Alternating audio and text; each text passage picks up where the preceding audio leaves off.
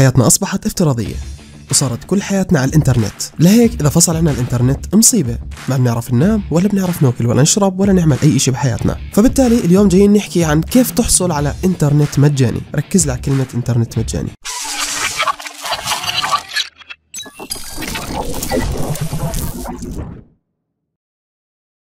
أهلا وسهلا فيكم أصدقائي بهالفيديو من جديد. معكم أخوكم سعيد من قناة the breaking wolf واليوم بإذن الله تعالى جايين نعرف كيف نعرف باسوردات أو ال password الخاص بالواي فاي اللي حوالينا أو نقاط الواي فاي اللي موجودة في المنطقة تبعتنا أو نقاط الواي فاي تبعت الجيران أو المقاهي أو غيره وغيراته. طبعا كيف صار في إنترنت مجاني؟ مع إنك سعيد بتحكي ما في إنترنت مجاني. بما إنك عرفت ال password تبع الواي فاي وشبكت عليه واشتغل عندك الإنترنت مش صار مجاني أنت دافع إشي؟ لا. طيب تمام. خلينا ننتقل إلى استعراض التطبيقات اللي معانا اليوم. طبعا راح أستعرض تطبيقين فقط وباقي ما تبقى من التطبيقات راح أكون تاركها داخل مدونتي. راح أكون تارك أكثر من تطبيق لهالموضوع وأنت حمل اللي بتحبه أو حملهم كلهم أنت حر. طبعا عشان تدخل إلى مدونتي وتحمل التطبيقات رابط التدوين موجود أسفل الفيديو بالوصف أو بأول تعليق أو من خلال البطاقة اللي ظهرت على طرف الشاشة على اليمين أو على الشمال. تمام ننتقل لأول تطبيق. okay طبعا كل اللي علينا أول شيء إنه نكبس على هاي الأيقونة اللي هون. راح تفتح معنا هاي الشاشة بنحكي له refresh من هون. طبعا أهم شيء إنك تكون مفعل ال location. طبعا بننزل الخريطة هاي للأسفل وزي ما إحنا ملاحظين فتحت معنا خريطة. تمام التمام. رح نيجي نكبس على هاي عشان يحدد مكاننا على الخريطة ونبلش نعمل zoom out نرجع لورا. وزي ما إحنا ملاحظين هاي بلشت تبين معاي نقاط الواي فاي اللي حوالي. طبعا هاي بتفيدك لما تكون أنت في مكان ما في إنترنت وما معك إنترنت ومحتاج إنه يكون معك إنترنت. فبالتالي بدك تستخدم هاي التطبيقات وتشوف شو في حواليك نقاط واي فاي وتشبك عليها. تمام خلينا ندخل على أي نقطة واي فاي نيجي هون مثلا. زي ما إحنا ملاحظين هي اسم نقطة الواي فاي بيحكي لك بعيدة عني 358 متر.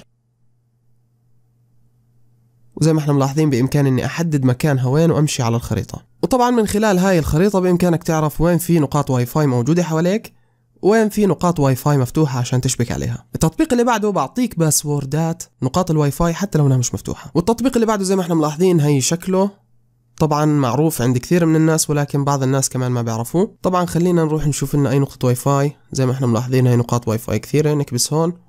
زي ما إحنا ملاحظين بيحكي لي بينه وبين هاي النقطة 350 متر. وإذا بنسحب هاي هيك بإمكانك تشوف اسم النقطة هون وتكبس عليها وتحكي له من هون unlock password أو فتح ال password زي ما إحنا ملاحظين هاي ال password تمام خلينا نرجع لورا. نشوف أي نقطة واي فاي أخرى. مثلا خلينا أشوف إشي جنبي. هون مقهى أبو هيوتة. okay خلينا نفتح ال password. password مفتوح. نشوف هون هاي النقطة مثلا. نكبس عليها.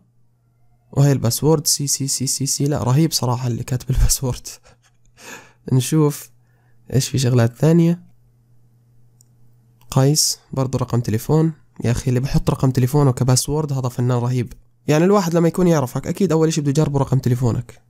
فديروا بالكم من هاي الأمور. على كل إخواني كل التطبيقات اللي شفتوها وتطبيقات أخرى مماثلة إلها بإمكانك تنزلها من خلال مدونتي ورابط التدوين موجود أسفل الفيديو بالوصف أو بأول تعليق. طبعا التطبيقات هاي تشتغل كمبدأ Truecaller كل ما يستخدموها الناس ويشاركوا نقاط الواي فاي عليها فبالتالي بيصير فيها قاعدة بيانات لنقاط الواي فاي أماكنها وباسورداتها. فبالتالي أنت لما تنزل واحد من التطبيقات ما اشتغل عندك ما تحكي ليش إني كذاب. جرب التطبيق الثاني والثالث والرابع لأنه يمكن التطبيق اللي شغال عندي بالأردن مش شغال عندك في مصر ولا في الجزائر ولا في السعودية لأنه غير مستخدم في بلدك يمكن. على كل اخواني لهون بكون انتهيت من الفيديو. إن شاء الله يكون الفيديو عجبكم وأفادكم. إذا عجبك الفيديو أفادك لا تنسى ال like وال share. ولهون صار لازم أودعكم وأحكي لكم. شكرا للمشاهدة ويعطيكم العافية. كان معكم أخوكم سعيد من قناة The Breaking Wolf السلام عليكم ورحمة الله تعالى وبركاته.